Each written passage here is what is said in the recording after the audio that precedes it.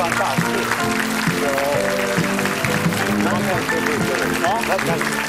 Ja, Varsågod och sitt upp här. Jag tänkte att vi skulle ha eh, åtminstone antyda en uppvärmning som man ju alltid ska ha när man ska gå en match. Ja, vi gjorde det väl innan jag kom hit. Ja, vi gjorde det innan, innan du kom hit och du får eh, tala om för oss nu varför du hoppade på igen sen du hade hoppat av. Jo, för att jag tvingade dig att bryta mot reglerna i programmet. Och Ja, du sa att Ingrid var här och jag tycker Ja. att eh, jag är oerhört förvånad över att hon kom. Jag tycker inte att hon ska åka till Malmö och tillbaka till Rom. Utan du... att träffa mig. Det var väl antagligen Ja. Du berättar eh, på ett ställe i din självbiografiska bok om Olof Palme i New York.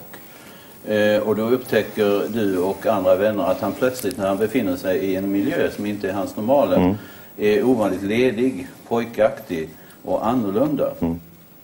Och i anslutning till det så säger du att i TV anpassar man sig ofta till den offentliga bilden av en själv. Man Ja. avstår från att röka, från att dricka, från att svära. Och man är alltså inte den man egentligen är. Är det den bilden vi ska få se ikväll av Harry Schein eller är det den Ja. riktiga Harry I Schein? någon mån får vi väl se den. Jag ska undvika att röka om jag klarar det och eh, Ramlös är ju för sig inte farligt att dricka. Eh, eh, en viss anpassning är ju på sin plats. Eh, Mm. Men jag är inte särskilt duktig på att anpassa mig, det ska jag erkänna. Man har alltid en känsla av att du är väldigt uppriktig och dig själv när du framträder. Även om det är privat. I TV. Jo, jag är dålig skådespelare om det är det du menar. Jag ska be att få göra ett citat och så ska du tala om vem det är som du har sagt det här om. Han är aldrig vulgär men han har en häpnadsväckande stor toleransnivå för det vulgära. På Ja. gränsen till det morbida. Jag ska äta middag med honom på tisdag. På tisdag, du kan äta en sen supé med honom redan Donner ikväll. är här idag. Donner kommer Jo, här. men då kommer äntligen lite cigaretter.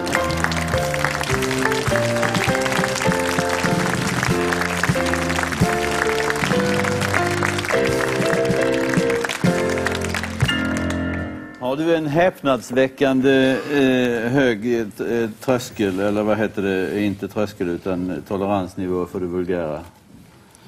Det är ju Harry vi ska tala om. Inte Ja, men, nej, men har du det? Inser du det själv eller?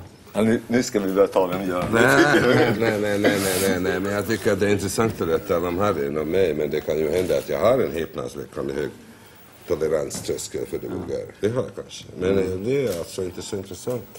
Okej, då talar vi lite om Harry. Vad hade, vad hade Harry gjort som, eh, som eh, gjorde att du gärna accepterade att arbeta med honom och under honom till en början?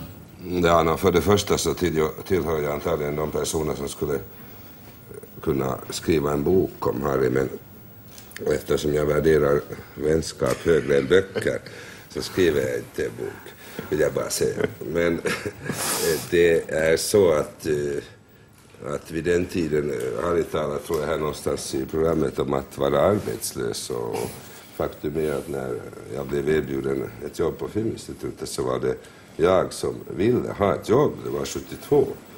Eh, Och vi träffades då i Helsingfors och, eh, och sen så omorganiserades Filminstitutet. Jag kom dit. Så att jag var mycket tacksam vid den tidpunkten. Sen kan man ju fråga sig om Harry var tacksam. Men det är en annan sak. Hur hade du upplevt Harry, Harrys förtjänster eller eh, fel och Ja, vi träffades tidigare? nog vid det här av Olof Palme omtalade blanka bordet eh, eh, på Filminstitutet när det fanns på Kungsgatan i Stockholm. Och, och Harry satt i ett mycket imponerande stort rum med en blankt skrivbord. Men eh, jag hade ju då läst allt det här i BLM och sådär, men det var ju början av 60-talet. Eh, Så att jag hade ju läst recensionen, alltså jag, hade, jag visste ingenting om vattenrening. Utan Nej. eh, det var det med filmen. Ja, var, du, var, du, var du imponerad av hans recension? Ty- Delade du hans åsikter? Hans sätt att skriva, tyckte du om det? Konstigt nog så, så tillhörde jag de eh, stora mm, Bergman-fansen nästan alltså mera än, än Harry. För att när jag var 16 år gammal och kom till Stockholm första gången i mitt liv så såg jag Ingmar Bergmans fängelse. Mm. Och det gjorde ett så djupt intryck på mig så att jag var till och med blind för det som Harry uppmärksammade. Det vill säga vissa saker som kanske inte har hållit hela med tiden Ingmars produktion. Vad hade, vad hade, vad hade Göran gjort som, som fick dig att be honom bli chef för, för det här eh, cinemateket som Ja, men, eh, för det första, men Jan börjar också bli lite gaggig. Vi träffades eh, tidigare. att, att, alltså. var, var, var, var du Harriet och inget och, och jag någon gång på, på, på 50-talet. Lång ja, tid. Men, men, ja, inte om det. men jag har ju följt Jörn. Jag visste kände honom genom det han skrev. Jag hade träffat honom. Mm. Vi har många gemensamma vänner. Jörn var ju inget var ingen okänd, okänd faktor för mig. Det är mm. väldigt trevligt när man kan anställa personer som man känner. Du har, du har i din bok skrivit att du är imponerad av hans förmåga att flytta in i olika miljöer. ja, men det är inte därför jag anställer honom. Nej, det, det, det förstår jag.